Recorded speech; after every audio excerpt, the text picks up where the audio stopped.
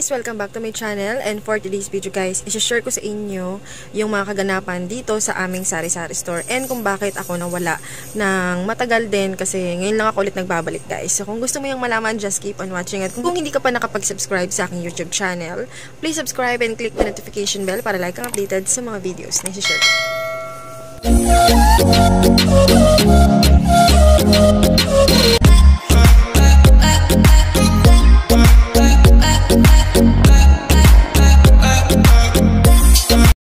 Kasari, ako yung nagbabalik. Bali, matagal-tagal ako hindi nakakapag-vlog or nakaka-update sa inyo daily. So, masyadong naging busy lang dito. And, um, gusto ko lang malaman ninyo na yung isa kong kasama dito sa tindahan is umuwi muna sa kanila. Kaya sobrang, ano kami ngayon, um, puno schedule namin araw-araw. So, kailangan talaga namin magtulungan to the point na hindi ako nakakapag-update sa inyo, mga kasari, sa mga nangyayari dito sa aming sari-sari store.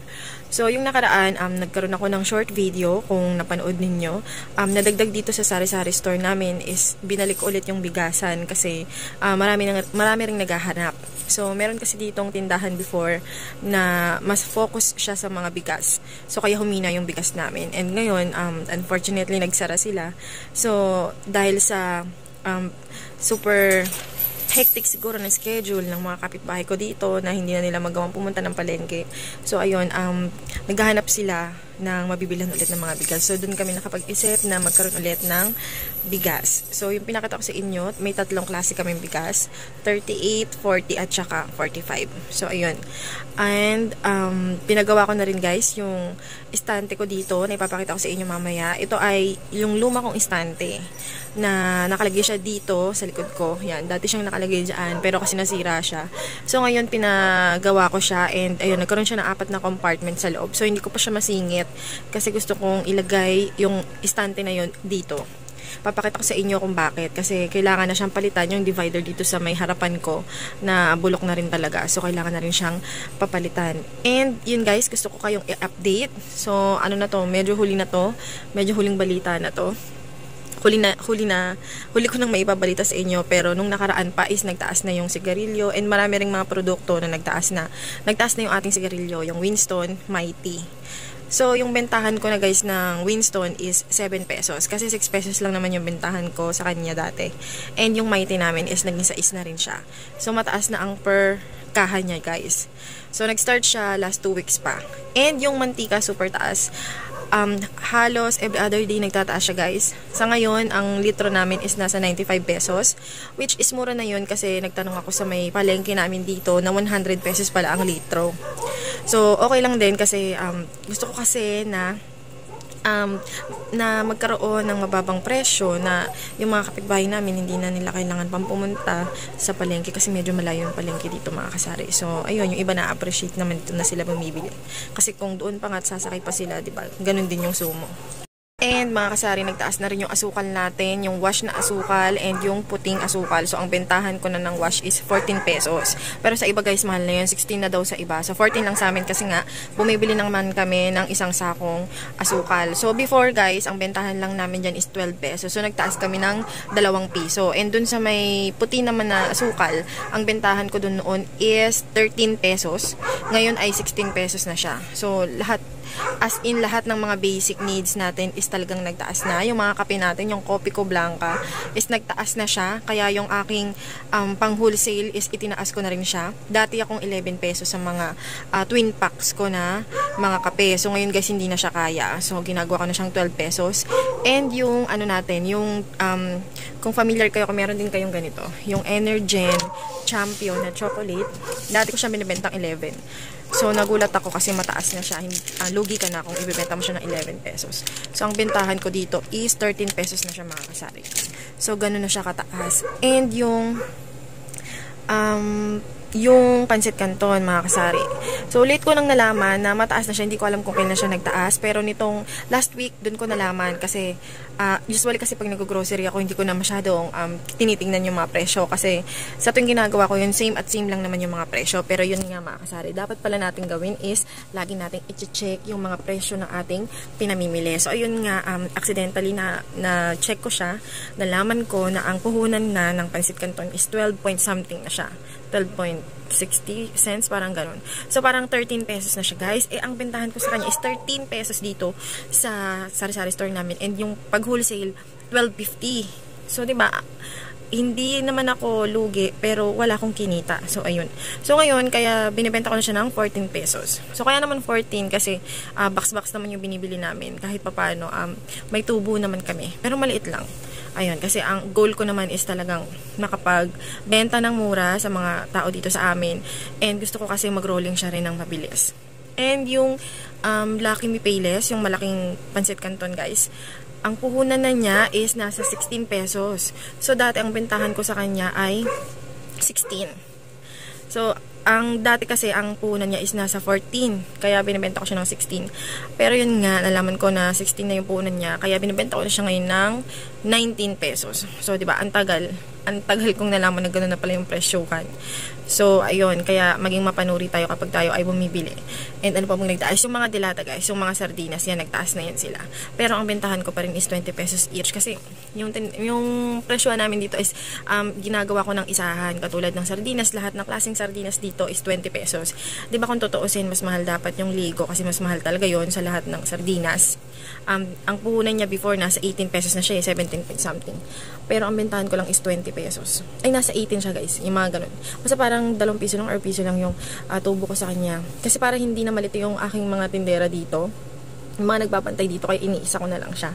And yun nga, um, hindi naman ako nakapamili ng masyado nitong, nitong pumasok ng taon kasi napakarami ko pang tirang mga sardinas nung nakaraang taon. So matagal naman yung expiration niya kasi nga box-box yung binili kong mga canned goods nung nakaraang taon. So meron pa siya. And mga kasari, nagkaroon din tayo ng shortage or um, nagkaroon tayo ng out of stock sa ating mga sesto. Bali matagal na hindi nagkaroon ng mango. Ewan ko kung dito lang yun sa lugar namin or nationwide siya. Pero um, nito lang nagkaroon po ng mango. Pero ang balibalita kasi nung nakaraan, April pa siya magkakaroon. Gawa ng mataas ang mangga ngayon guys, diba? Kapag pupunta tayo ng palengke, makikita nyo yung manggang hinog. Mataas talaga yung kilo niya. So siguro, um, hindi kayang isupply ni Sesto kapag mango yung flavor. So ayun, buti na lang dun sa pinuntahan ko, nagkaroon ng mango flavor. Kasi ang tagal talaga talaga. Um, siguro mag, mag 2 months na na walang mango flavor. So, ayun, um, bumili ako ng maraming sesto mango kasi hanapin yan dito. And lahat ng sesto ko guys, um, binibenta ko na siya ng 10 pesos kasama na yung mango. So, okay lang. Dun sa mango talaga, wala talaga ako masyadong tubo doon kasi 10 pesos ko lang siya binibenta kasi sa iba daw is 12 pesos na siya.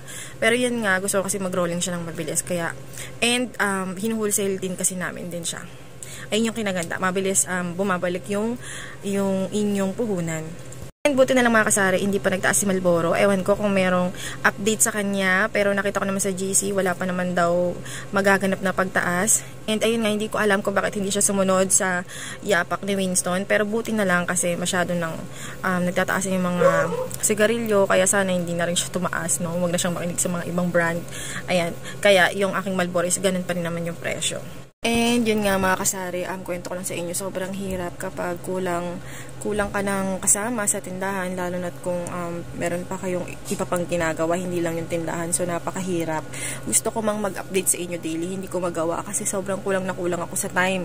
And um, gagawin po kayo ng separate video. Um, isa rin sa mga dahilan ko kasi nagdagdag ako ng pagkakakitaan dito sa aming tindahan, binalik ko ulit yung aking um, burger. Meron na kami ulit burger dito, yan kasi yung una ko talagang ninegosyo nung wala pa akong tindahan. So, nagtitinda kami ng mga burger-burger, mga merienda. So, binalik ko siya ulit kasi nagkaroon ng kahinaan yung store namin. So, kailangan mag-isip tayo ng other source na pagkakakitaan. So, ayun, naisip ko na ibalik ko siya ulit. And, nakakatawa, nadagdagan siya. Meron kaming silog meals. Ayan, gagawin ko ng separate video yan para makita nyo kung paano ko siya piniprepare. And, ayun, um, last, nito lang, naisipan kong magtinda ng ice candy. So, hindi, hindi unusual. Hindi common yung ice candy namin dito. So, marami siyang flavors. Ayan, nakatulong ng malaki sa akin yung panonood ko ng YouTube. And, yung sinalihan kong group na, um, ano yun, um, puro ice candy products. Kung paano gumawa. Kung paano yung mga latest na uh, flavors ngayon. So, ayun, patok na patok siya guys. So, gagawin ko ng separate video yan para makita ninyo kung paano siya pinipprepare. Guys, update ko kayo sa aming tindahan. Bali, ayan, nakapag-grocery ako kaya yan po, medyo um, puno ang ating mga chichirya. Pero yung ating tigpipiso is, ayan, hindi ko pa nasabit yung mga iba kong pinamili. And na-replenish din yung mga gummy candy. So, hindi, pa, hindi ko pa nailagay yung iba. And ito guys, ito yung bago sa tindahan namin na bagong luma. Dahil dati naman na kami nagtitinda ng bigas pero um, pinalik ko siya ulit. So meron akong tatlong klaseng bigas dito. Itong 40. Itong 40 na um, buko pandan. Tapos itong Coco Pandan na 45 ang per kilo niyan. And itong 38 guys, ito maalsa to guys, kaya maganda to para sa mga um, nasisilog, ganyan, yung nagsasangag kasi buhaghag siya. And ito guys, kung mapapansin nyo, ayan, meron yung istante ko na luma, um, nasira kasi to before. So, pinagawa ko siya. Ang nasira sa kanya is yung mga ano niya dito, compartment niya, ito yung mga divider. So, dati, tatlong, tatlo lang tong divider ang nakalagay dyan. Ngayon, ginawa ko siyang apat. Ayan, para mas marami ako malagyan. So, bagong gawa siya. Hindi ko pa alam kung saan ko siya pwedeng ip ipwesto kasi um, gusto ko rin tong papalitan. Kung mapapansin nyo, diba, lumang-luma na siya. Itong pinaglalagyan ko ng alak. Kasi matagal na yan, guys. Isa yung um, bookshelf, bookshelves. Ayan, bookshelves to. Nagaling pa to sa hipag ko. So, ginawa ko siyang divider dyan sa harapan. And ayan, medyo marupok na siya so kailangan na rin talaga siyang palitan. So ayan, pag nagkapera ako, um, ayan, plano ko siyang palitan. And itong stante ko is ilalagay ko rin siya dyan sa harapan. So, ayan. And ito, yung nakalagay muna dito guys is yung mga itlog natin. So, meron akong tatlong klaseng itlog guys. Ito, meron tayo ditong itlog maalat. And ito, huwag nyo na pansinin yan. Ayan, binabantayan niya po yung itlog. Ito, meron tayong large na 160. Tapos meron tayong small at saka medium. So nakalagay naman dyan yung retail price namin.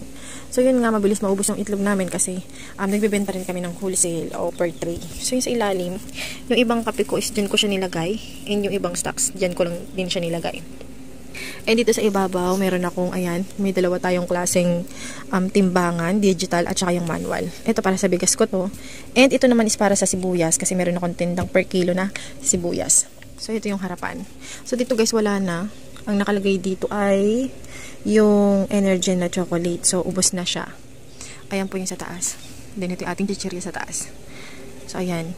And ito, itong aking mga sesto, ayan, pak na pak hanggang dulo. So, marami kaming binili niya kasi marami talaga naghahanap. And, nakakatuwa kasi meron ng flavor na mango. So, matagal ding nawalan po ng stock ng mango. So, ngayon meron. So, ayan. Kaya kumuha ko ng maraming mango. And ito yung ating chiller. Ayan, yung iba hindi ko pa na-replenish. Ayan, kung papansin nyo, um, nabawasan na yung ating soft drink. So, ayan, lalagyan ko yun mamaya. And ito, bumili ako ng um, embutido. Ayan, bumili ako ng embutido. Embutido usually binibili namin is 100 pieces. So, binibenta ko siya ng 10 pesos. And ito yung frozen goods natin. So, ayan, hindi ko pa nalagay sa freezer. Bumili ako ng tosino, hotdog na idol, tsaka footlong. So, ito guys, kung papansin nyo, meron akong burger patty dyan. Sa sunod na vlog ko, isi-share ko sa inyo yung um, another binibenta ko dito sa tindahan namin. So, ayan. Yan ang status ng ating tindahan. And ito, ayan ang ating mga dilata. So, ayan. So, yun yung aking update for today, guys. Um, sana yung mga ibang viewers ko is manood pa rin, patuloy pa rin kayong manood. Sa mga hindi pa nakapag-subscribe sa aking YouTube channel, please subscribe and click the notification bell para like ang updated sa mga videos na isi-share ko.